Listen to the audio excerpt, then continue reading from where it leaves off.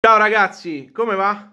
Come andiamo? Come stiamo andando in questa quarantena? Non so più a che giorno so, non sono riuscito a tenerne traccia neanche sulla mia lavagnetta, dovrò rifare i conti, ma sto in quarantena dal 6 di marzo, quindi fate un po' voi. Eh, parecchi giorni e devo dire incominciano ad essere pesanti, ma io in questo video voglio fare un quadro della situazione. Mm, negli ultimi giorni abbiamo un po' palleggiato tra calcio, tra calcio e finanza eh, se vogliamo un po' di politica legata all'attualità del coronavirus. E ho del, dei dubbi. Piano piano che la situazione sta andando avanti io analizzo un po' quello che succede e non ho delle certezze. Come molte persone hanno e che io invidio perché si diceva beata ignoranza no? Eh, e io sono contento che tutti abbiano delle certezze. Io qui non ho certezze e vi spiego anche i motivi tra poco ho dei, dei, dubbi, analizzo, cioè analizzo, vedo i dati, li analizzo, se vogliamo analizziamoli, ma tanti dati sono comunque falsati perché non sappiamo i veri numeri del contagio eh, e mi faccio delle idee e cerco di capire dove stiamo andando. Poi mi arrivano video del dottor Shiva, mi arrivano tweet di Burioni, mi arrivano tweet di Tarro e adesso ne parliamo. Allora, innanzitutto... Eh, Mm, facciamo un passo indietro. Quando è iniziata questa quarantena, io sono stato uno di quelli che ha detto, ragazzi, cioè fate la quarantena fatta bene perché è chiaro che la situazione era chiaro che la situazione era sfuggita di mano. Tanto è vero che mm, quasi subito, ragazzi, ehm, quasi subito, insomma, tutti quanti sono messi a casa a fare la quarantena, così pacificamente l'hanno accettata, eh, perché chiaramente i numeri stavano crescendo esponenzialmente. Poi tutte quelle cazzatelle, i runner, il vecchietto che fa la passeggiatina, eh, quello che esce fuori e eh, porta il bimbo a spasso, tutte queste cose che hanno fatto chiaramente eh, accanire le persone su Facebook perché annoiate eh, da uno sfogo della loro, così, dalla loro mancanza di raziocinio eh, irrazionalità, chiamiamolo così, eh, dato che non so quanta percentuale di popolazione a Milano sta ancora lavorando, si sta anche spostando. Peraltro sto andando verso dei capelli molto ricci, devo dire anche abbastanza gradevoli. Subito like, like di supporto per i capelli. Quindi il problema qual è? All'inizio si dava... Mh, mm, l'avevamo accettata, perfetto. Dopodiché io nella mia testa eh, l'ho anche detto in qualche video, dico, cioè questa situazione di quarantena è necessaria perché la situazione è sfuggire al controllo, chiaramente deve essere, cioè, deve essere volta allo step successivo, cioè tu ti metti in quarantena per far cosa? Per arginare la situazione, per capire di che cosa stiamo parlando, per trovare delle soluzioni. E, ehm, e quindi ho detto, ok, facciamola, un mese, due mesi, eh, ragazzi, ah, dopo due mesi, cioè qui la situazione doveva essere ne- necessariamente migliore. Non abbiamo ancora concluso il secondo mese, ma insomma, io dopo un mese, io ho, ho fatto anche un po' su Instagram. Peraltro, ragazzi, seguitemi sui social perché sono un personaggio scomodo, ma eh, seguitemi sui social.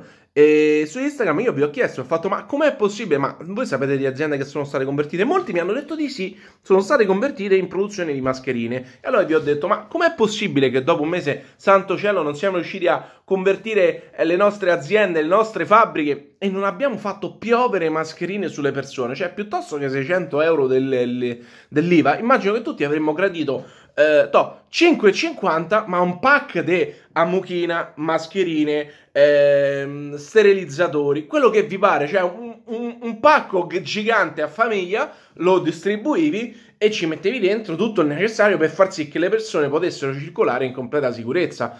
Mi aspettavo questo dopo un mese, in una situazione di emergenza totale, cioè di, di blocco totale di un paese eh, andiamo verso, non so, le perdite del PIL 12, 13, 15, 20%, quello che sarà, cioè capite bene la situazione, allora è uno stato di guerra, cioè comportate come se fosse una situazione di guerra eh, e non si è fatto, è che già io lì dico io, devo dire che sono rimasto abbastanza sconcertato. Poi lasciamo perdere la, eh, come se, um, la distribuzione soldi, come è avvenuta, come non è avvenuta. Quello purtroppo dipende dal fatto che all'Inps noi abbiamo, eh, all'Inps, alla Regione Lazio, abbiamo una serie di personaggi che non dovrebbero stare lì perché non sono i migliori del loro settore, non sanno niente di informatica e ti fanno delle cose e ti dicono delle cazzate, come ha detto il presidente dell'Inps, eh, 10.000 domande al secondo, quanto aveva detto non lo so neanche, vabbè.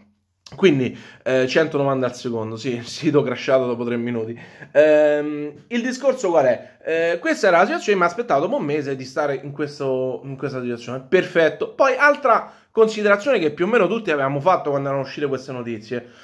La gente è partita da Milano e è andata al sud. Cioè, a Milano, in Lombardia, Bergamo, Brescia ci sono delle situazioni folli. Cioè, il virus si sta diffondendo in maniera folle, ragazzi, folle. Allora partono giù questi treni al sud, tutti quanti, cioè, apri di cielo, cioè qui ci sarà uno sterminio al sud, perché cioè, abbiamo visto a Milano, voglio dire, eh, è, è, vero che a Milano magari c'è una movida un po' eh, più accentuata rispetto a alcune zone del sud, però al tempo stesso mi viene a dire che a Milano ci sono anche molti ragazzi che lavorano lì, c'è gente giovane, quindi forse eh, molti, ecco, molti del sud che stavano a Milano non, ha, non stavano in, ehm, in, abitazioni o comunque non vivevano con i genitori o parenti anziani. Quindi forse lì i contagi erano alti, ma la mortalità, la letalità forse era bassa. I contagi chiaramente non sono quelli riscontrati dai numeri, ma molto superiori. E mi aspettavo che cosa? Come la maggior parte delle persone temevano, cioè al sud, ragazzi, sarà sarà un disastro. Cioè, tutti questi che sono andati al sud avranno contagiato tutti i familiari che usciranno a fare la spesa, che contageranno altre persone e saranno all'istruzione. Così non è stato. Cioè, questa mi pare un'analisi che non so se le, qualcuno ha fatto. Um, io non, sinceramente non l'ho sentita. Adesso, mentre parlo con voi, sono curioso um, di andare a cercare coronavirus Italia regioni. Uh, Worldometer, che è il sito che mi chiedete sempre eh, da dove prendo i, i dati, vediamo se, se, esce qualcosa. Comunque sta di fatto che, eh, che il discorso qual è? Il discorso è che al sud, ragazzi, non è successo quello che è successo al nord. E allora la domanda che mi faccio io è: eh, ma c'è qualcosa che di diverso al sud rispetto a Milano? Cioè, perché eh, dopo, dopo due mesi mi sembra evidente che non si sta diffondendo, non c'è il discorso per regioni, speravo ci fosse qui sul sito Worldometer, lo fanno per gli stati degli Stati Uniti, ma chiaramente perché sono, sono molto più grandi.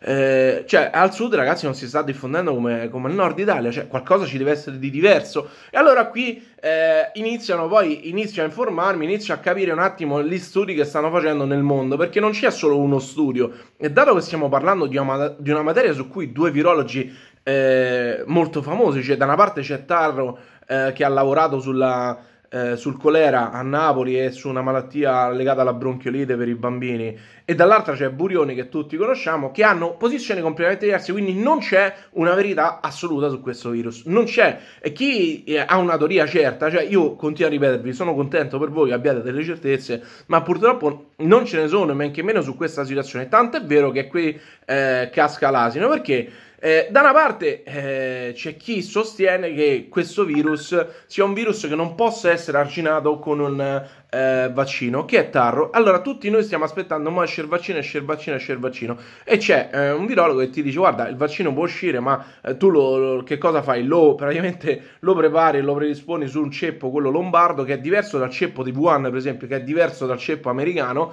e quindi praticamente potresti avere un vaccino che è totalmente inefficace o comunque ha un'efficacia limitata. E quindi che significa? Che stiamo tutti aspettando questo vaccino quando probabilmente questo vaccino non ci darà risultati sperati.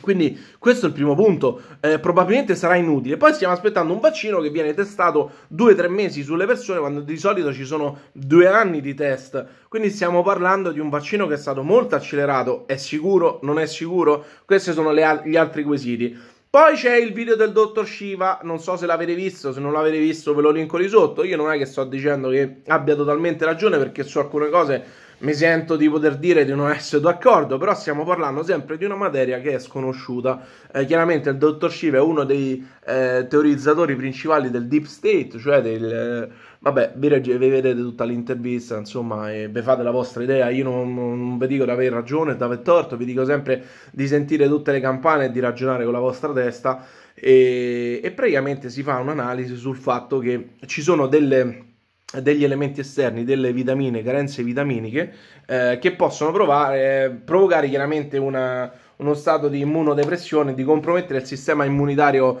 eh, del, del, corpo che in, dovrebbe essere in grado di reagire a questi virus. Boh, io se è vero o non è vero ragazzi, vi ripeto, non lo so, però vado a prendere poi le dichiarazioni di Tarro, le incrocio un pochettino e eh, probabilmente mi faccio questa idea che in questo momento non ci stiamo comportando bene perché... Um, detta la prima fase di, eh, di eh, chiusura totale, che vi ripeto ci può stare perché ti devi riorganizzare, o oh, ti è arrivato uno schiaffo, ti devi un attimino eh, fermare e devi, e devi rialzarti. In questo momento non capisco che cosa si sta facendo, che cosa si stia facendo. Utilizziamo il congiuntivo che è più bello.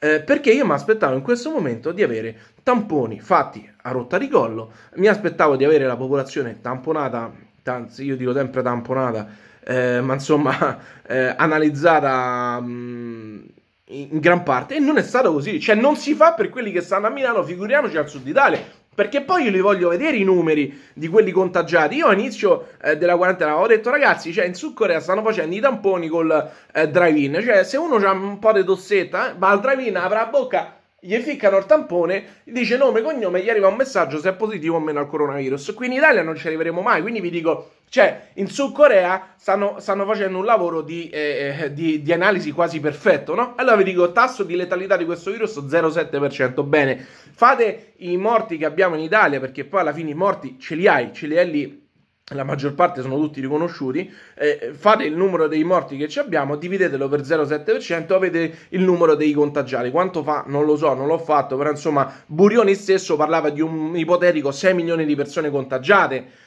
E allora se sono 6 milioni di persone contagiate, eh, mi verrebbe da dire, e eh, allora dobbiamo un attimino iniziare a riaprire le cose, perché 6 milioni di persone contagiate, più i servizi essenziali, più questo, più quell'altro, cioè grosso modo Meta Italia penso un terzo possa ripartire, sarebbe già una bella cosa. Ehm, dall'altra parte poi c'è quest'altro dubbio, cioè ti crea immunità? Cioè dopo che te lo sei preso, te lo puoi riprendere? Pare di sì in alcuni casi, eh, ma perché? Perché non hanno sviluppato gli anticorpi oppure perché il virus è mutato e ti può riattaccare? Questa cosa qui non è chiara, c'è uno stato di confusione totale. Eh, sta di fatto che ad oggi quello che mi aspettavo era che, ehm, che tutti quanti fossero c'è uno screening completo. Adesso vedo dei bandi per il 3 maggio. Si sta facendo il bando, capito? Cioè, si sta facendo il bando per il 3 maggio. È, è l'unica cosa che si può fare? Non lo so, ragazzi. Non sono esperto di diritto amministrativo, forse sì. Eh, ma se fa il bando, vabbè, facciamo sto bando per il 3 maggio per 150.000 test sierologici. 150.000.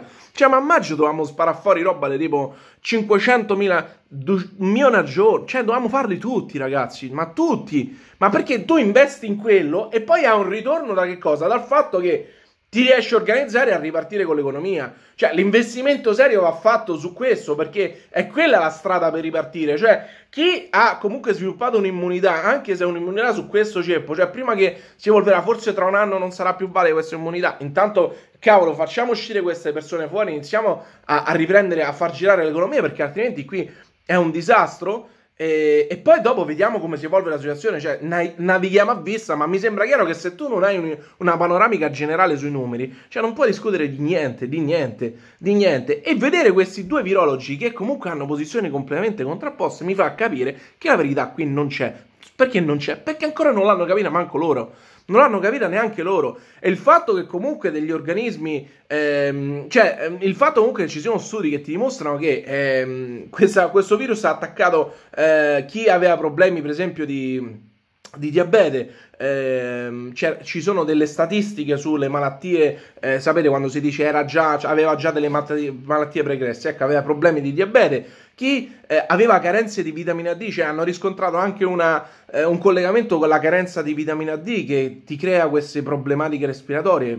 Poi il virus non si è scoperto, non è solo un virus che attacca eh, insomma, eh, le vie respiratorie, ma attacca anche altri ehm, altre parti del corpo, insomma. Quindi il discorso, è, mh, mm, il discorso è questo, cioè bisogna capire e non si capisce, ma non possiamo più rimanere fermi, cioè non si può rimanere fermi, io vedo che in questa fase non, cioè, non c'è un'idea chiara, sai del tipo, boom, abbiamo messo tre, poi non ci sono i, i reagenti per fare i tamponi, qualcuno mi, mi, risponde su questa cosa, io non riesco a, a, cioè non ci sono i reagenti, ma i reagenti non siamo, non siamo in grado di farli, cioè, i reagenti era la prima cosa che, boh, mh, mm, è scoppiata l'epidemia, fermi tutti. Troviamo tre fabbriche, volevamo far bando, famo una banda, basta che famo i bandi, famo lavorare amministrazione pubblica, famo i bandi, non è che se può dire, ti pago io, sa quanto me, te pago, fammi 2 miliardi di reagenti, no, facciamo un bando, ok, facciamo questo bando, in situazione di emergenza facciamo il bando, ok, perfetto, quello che volete, facciamo questo bando, non siamo riusciti a farci i reagenti, ma, ma siamo allucinati, cioè